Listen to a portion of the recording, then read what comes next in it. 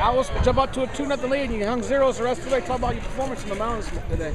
I mean, I had a shaky first inning, and then after that, I mean, I knew I had to just go out there and do what I can. I can't go out there and overdo it.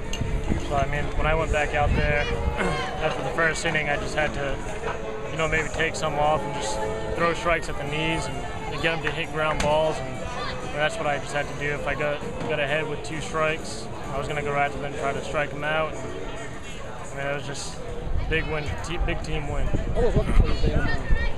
I mean, just spotting up my fastball was real big for me because I, I came off, you know, two rough starts, not locating that fastball.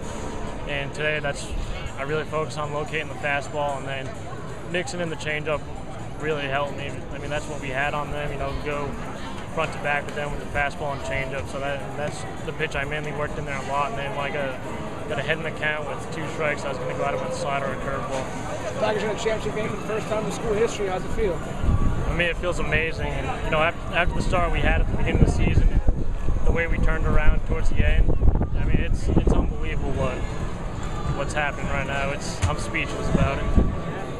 I mean, appreciate it.